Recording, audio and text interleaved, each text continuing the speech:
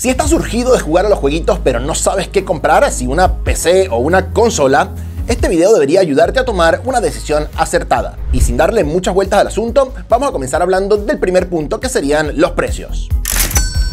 Cuando hablamos de PCs versus consolas, siempre ocurre un fenómeno interesante en relación a los precios. Y es que cuando las consolas están recién salidas al mercado, tanto la Xbox como la PlayStation, o por lo menos también durante los primeros años de su vida útil, suelen ofrecer un rendimiento que por el precio que tienen es imposible de obtener si compramos una PC del mismo costo. Sin embargo, a medida que pasan los años, las consolas siguen siendo exactamente las mismas, pero el hardware de PC avanza. Esto se traduce en que los modelos de gama media y baja de PCs son más potentes y más baratos. Bueno, en algún punto de la vida útil de una consola, usualmente como hacia la mitad, lo que pasa es que la cosa se equipara. Y si la historia nos dice algo, es que incluso hacia el final de la vida útil de las consolas, las PCs las logran superar en precio-rendimiento con creces. ¿Dónde estamos en este momento a mediados de 2023? Pues la verdad es que por 500 o 550 dólares que cuesta eh, una PS5 o una Xbox Series X, es imposible armarse una PC que rinda lo mismo o más en gaming que cualquiera de estas dos consolas. Al menos no con componentes nuevos, ya que el mercado de usados es un mundo aparte. Esto sinceramente me da un poco de miedo porque ya este diciembre se cumplen 3 años del ciclo de vida útil de las consolas modernas que usualmente están vigentes por unos 5 a 6 años. Y teniendo en cuenta que acaban de salir nuevas GPUs, tanto de Nvidia como de AMD, me hace pensar que quizás el patrón que veníamos viendo, este que te acabo de explicar, se pueda romper o se haya roto. A pesar de eso, no pierdo la esperanza, pero si hablamos de precios actuales, la ventaja se la llevan sin duda las consolas. Hay que admitir que hoy en día las consolas son mucho más versátiles que nunca teniendo desde navegador de internet integrado hasta también aplicaciones como Netflix u otras de streaming. Sin embargo, nadie en su sano juicio diría que una PS5 es más versátil que una PC. Con las PCs puedes hacer básicamente lo que se te antoje, desde cosas básicas como jugar, editar documentos de texto u hojas de cálculo o navegar por internet, hasta cosas súper complejas como trabajar en desarrollo de videojuegos, edición de fotos, audio o video, ejecutar máquinas virtuales, personalizar tu sistema operativo, hacer modelado 3D, entre centenares o miles de otras cosas. Y todo esto sin siquiera mencionar cosas como la personalización de los videojuegos en sí mismos. En una PC gamer puedes cambiar básicamente todos los ajustes que se te antoje, desde la resolución hasta el sombreado, el movimiento del cabello de los personajes, la profundidad de campo y pare usted de contar. En fin, creo que no cabe ni la más mínima duda que este punto va para las PCs y con creces. Si bien este punto en sí mismo tendría que ir automáticamente para las consolas, quiero detenerme un poco acá y analizarlo más en profundidad. Y es que, si bien sí, aún hay uno que otro juego que no llega a las PCs, la realidad es que cada vez estos son menos. Por una parte, está súper confirmado que todos los exclusivos de las Xbox Series van a estar disponibles para PC.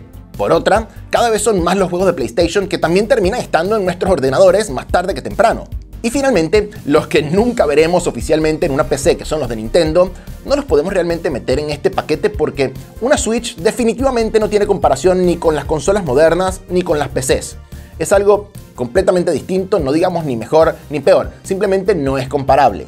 Además, no quiero entrar ni siquiera en el tema de la emulación de la Switch, que ya ustedes saben por dónde va la cosa. Por si todo esto fuera poco, la realidad es que las PCs también tienen montones de juegos exclusivos. Seguro, seguro, no son monstruos como por ejemplo el God of War o la saga Souls, pero existen y no son pocos. Entonces, tomando todo esto en cuenta, la realidad es que va a depender muchísimo de los juegos que quieras jugar y qué tan dispuesto estés a esperar para jugarlo el día del lanzamiento o un poco más adelante. Pero siendo objetivos, o creo yo que estoy siendo lo más objetivo posible, yo creo que hoy en día el tema de los exclusivos no es una verdadera ventaja para las consolas, por lo que voy a poner un empate en este aspecto.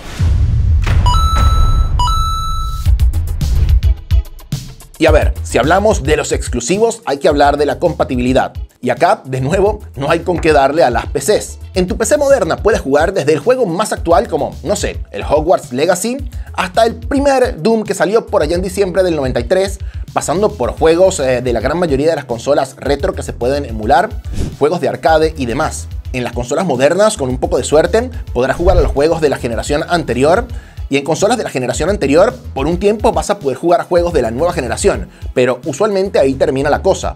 Y si tienes la suerte de que se te permita jugar juegos retro, como pasa por ejemplo con Nintendo, usualmente son súper costosos, como si se tratara de un juego nuevo, o por ahí te toca pagar una suscripción mensual, con la que nunca eres dueño realmente de los videojuegos a los que juegas. Bueno, esto tampoco pasa mucho en Steam. Eh, eh, es un tema, eso es un tema para un video completo. Pero sigamos. Y finalmente, aunque esto no es un tema de compatibilidad como tal, aprovecho este espacio para mencionar que los juegos en PC se pueden modificar y hay una comunidad enorme de entusiastas que se dedica a esto y a la que todos los PC gamers podemos acceder sin problema, lo cual le da un nivel de profundidad adicional a las PCs que las consolas ni siquiera pueden aspirar a tener al ser sistemas cerrados. Por ende, creo que no cabe duda que este es un punto para las PC. En lo que se refiere a la experiencia del usuario, creo que no cabe duda de quién es el ganador. Y es que, si bien las PCs tienen incontables ventajas en lo que se refiere a personalización y demás, las consolas ofrecen una experiencia súper prolija que no requiere de ningún conocimiento previo y que permiten que, desde el más nuevo hasta el más experimentado, puedan conectar la consola, configurarla en unos pocos pasos, comprar juegos y arrancar a jugar. Por su parte, en las PCs tienes que, primero, elegir en dónde vas a comprar el juego, decidir dónde instalarlo, ver si tu PC es compatible o no, configurar el juego, ver cómo rinde y un largo etcétera de cosas que si bien para los más experimentados pueden ser consideradas incluso ventajas, en lo que se refiere exclusivamente a la experiencia de usuario, definitivamente complejizan un montón la situación. Así que, de nuevo, este punto va esta vez para las consolas. Si bien ya hablamos del precio y dijimos que actualmente es imposible armar una PC que rinda igual que una consola moderna por el mismo precio, la realidad es que si el precio no es una limitante, la PC siempre, siempre, siempre va a rendir más que una consola por más nueva que ésta sea. A ver, sería muy triste que una PC de 1500 o 2000 dólares no superara una consola de 500, pero por suerte lo hace. Por acá conseguí una tabla en donde se puede apreciar la capacidad de procesamiento gráfico en teraflops de las distintas gráficas modernas versus las consolas, y se puede ver la diferencia brutal que hay de rendimiento entre unas y otras. Y si bien es injusta esta comparativa, también es injusto hablar de precios cuando las consolas no están particularmente pensadas para dejar ganancias en sí mismas e incluso en ocasiones generan pérdidas, ya que el negocio de Sony o Microsoft está en los videojuegos y en las suscripciones, mientras que los que fabrican componentes de PCs ganan con la venta de los mismos y solamente con eso. Por todo esto, puntazo para las PCs. Si bien al momento de su lanzamiento los videojuegos suelen costar casi lo mismo en todas las plataformas, la realidad es que la cantidad de ofertas, descuentos y promociones que hay en PCs no se compara jamás con la de las consolas. No es nada extraño que en PCs los videojuegos empiecen a tener descuento al mes o a los pocos meses de su lanzamiento y que tres o cuatro veces al año haya descuentos realmente grandes. E incluso es muy común que bajen de precio definitivamente luego de unos pocos meses de llegar al mercado. Esto se debe mayormente a la competencia. Mientras que en la PS5 solamente puedes comprar juegos en la tienda de PlayStation, en PC tienes a Steam, Epic, GOG, Ubisoft Connect, Origin, Battle, entre otros. Y en muchos casos, los mismos juegos los puedes conseguir en varias plataformas e incluso vendidos directamente por el desarrollador, lo cual genera competencia y hace que bajen los precios. Es por este motivo que muchos argumentan que a largo plazo, una PC puede costar incluso menos que una consola, aun cuando el precio de entrada sea bastante más alto. Ahora, si bien esto puede ser cierto cuando la diferencia de precio no es muy grande, tendrías que comprar como 100 juegos y ahorrarte 10 dólares con cada uno para justificar una diferencia de 1000 dólares entre la PC y la consola. Así que ojo con estos motivos medio turbios para tomar una decisión u otra. Aún así, este puntaco va sin dudas para la PC. Si bien las consolas últimamente se han abierto mucho más a la posibilidad de utilizar teclado y mouse, la compatibilidad en general es muy limitada, y lo mismo con monitores y OTVs. En tu PC no solamente puedes utilizar cualquier teclado o mouse que se te antoje, sino que además puedes utilizar cualquier mando que quieras, incluyendo los de tus consolas favoritas, pero también sin dejar de lado alternativas muchísimo más baratas y accesibles para todos. Y en cuanto a monitores, Puedes jugar en cualquier resolución, incluyendo las no convencionales como por ejemplo 21.9, 32.9, 16.10 o la combinación de varios monitores a la vez, y lo mismo ocurre con las tazas de refresco que puedes utilizar cualquiera que se te antoje. No creo que haya que ahondar mucho más en este tema, ya que la victoria es clarísima para la PC.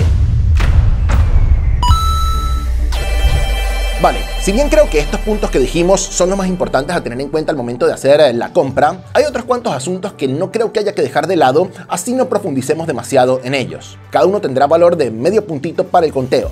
Comencemos. En general, las PCs ocupan bastante más espacio que las consolas, incluso sabiendo que las consolas modernas son bastante más grandes que las de generación anterior, así que por el espacio que ocupan, medio punto para las consolas. Si bien una PC gamer de gama media o baja no suele consumir demasiada energía, a medida que subimos de gama, el consumo puede ser 2, 3, 5 o hasta 7 veces más que el de una consola actual. Así que, de nuevo, por el bajo consumo, medio punto más para las consolas. Aunque la única consola moderna para ser portátil sea la Nintendo Switch, si comparamos lo fácil que es llevar una consola como la PS5 o la Xbox Series X de un lado al otro versus una PC, la consola siempre va a ganar. Las PCs son más pesadas, más delicadas de mover y son, como ya dijimos antes, más voluminosas. Por ende, de nuevo, medio punto más para las consolas. ¿Alguna vez viste una consola con una pantalla azul de la muerte? Bueno, quizás lo hayas podido ver porque puede llegar a ocurrir, pero en general, las consolas al ser dispositivos que están específicamente pensados para una tarea puntual, están tan pero tan bien optimizadas que son mucho más estables y fallan mucho menos que las PCs. Así que, de nuevo, medio punto para las consolas. Si bien la vida útil de una PC puede ser igual o mayor a la de una consola en términos de usabilidad, en lo que se refiere a juegos, con una consola sabemos que siempre, todos los juegos que salgan mientras el dispositivo esté vigente, los vamos a poder jugar sin problemas. Con una PC lamentablemente eso no ocurre, no hay garantías de nada. Y es más frecuente de lo que me gustaría admitir que una PC que ya tiene sus 4 o 5 años de vida útil ya esté bastante corta para juegos modernos. Así que, de nuevo, medio punto para las consolas. Ahora, lo que no tiene ninguna, ninguna consola que sí tiene la PC es la posibilidad de actualizarse. Y esto, esto no lo puse como punto principal porque involucra un gasto extra de dinero, lo que sería injusto para las consolas.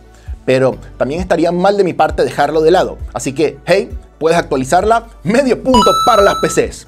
Y, vale, eh, ahora sí, ya creo que terminé. ¿Cómo, ¿Cómo vamos con el puntaje? Consola 6, PC 6.5. ¡Vamos, carajo! bueno, quedó bastante justita la comparativa. Sin embargo, quiero que entiendas que, bueno, este puntaje no es absoluto. Toda la información que te acabo de dar es simplemente para que tengas puntos de comparación. Pero lo que quiero que hagas con esta información antes de tomar una decisión es ver qué puntos son realmente importantes para ti. Por ejemplo, para mí lo más importante es la potencia, la versatilidad y la compatibilidad. Mientras que, no sé, los exclusivos, la experiencia o el precio de los videojuegos no me afectan tanto. Por ende, en mi balanza, la PC gana por goleada. Déjame saber en los comentarios cuáles son tus prioridades y por qué te vas a elegir una u otra. Como siempre, gente, muchas gracias por habernos visto. Espero les haya servido de algo el video. Mi nombre es Guayán y nos vemos en un próximo video.